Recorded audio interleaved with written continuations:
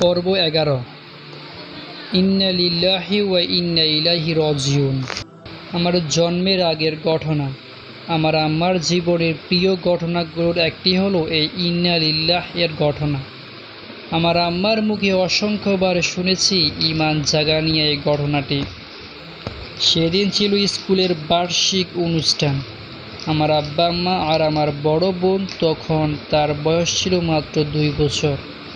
যেখানে উপস্থিত হতে যাচ্ছিল। আমার আম্মা ওই স্কুলে শিক্ষকতা করতেন।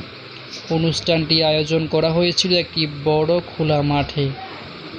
মাঠে লাইটিং ছিল, বস্ত্রা বসানো হয়েছিল, বিভিন্ন স্টলের সামিয়ানা ও ছোট ছোট তাঁবুও টাঙানো হয়েছিল। মাঠের মধ্যে প্রচণ্ড ভিড় হবার কারণে আম্মা আমার বোনকে কোলে করে হাঁটছিলেন। আমার আম্মার কানে পড়া ছিল স্বর্ণের গোলাকৃতির কানের দুল। কোলে বসে থাকা আমার দুই বছরের বোনটি বারবার দুল ধরে টানাটানি করছিল। এভাবে টানাটানির দরুন এক পর্যায়ে দুলটা আমার কান থেকে খুলে পড়ে যায়। আমার সাথে সাথে বুঝতে পারলেন ব্যাপারটা। আব্বা আমার সময় নষ্ট না করে হারানো দুল খোঁজাখুঁজি শুরু করে দিলেন।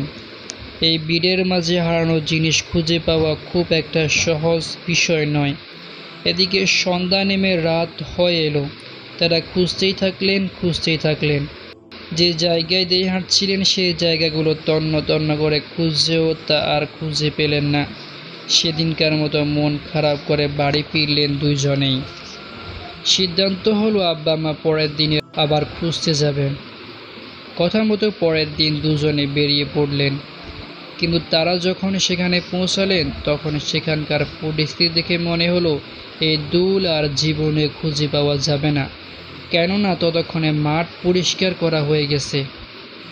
চোখের সামনে খোলা মাঠ আর সরিষা ফুল দেখা ছাড়া তাদের আর কিছুই ছিল না। ধুলোবালির এই খোলা মাঠে কোথায় খুঁজবেন তারা?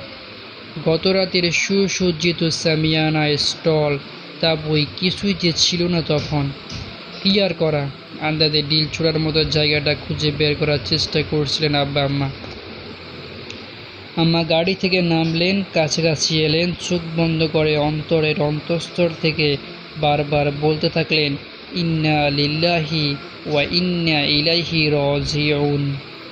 এভাবে দোয়া করতে করতে এক পর্যায়ে চোখ খুলে এদিক ওদিক দেখলেন, হঠাৎ কদম দূরে সূর্যের আলোতে ঝলকানো দাতব বস্তুর মতো কিছু একটা দেখতে পেলেন। জানেন ওটা কী ছিল? ফোটায় গত রাতে আমার হারিয়ে যাওয়া সেই স্বর্ণের দুল। ছোট্টবেলা থেকে আমি এই ঘটনাটা শুনতে খুবই ভালোবাসি।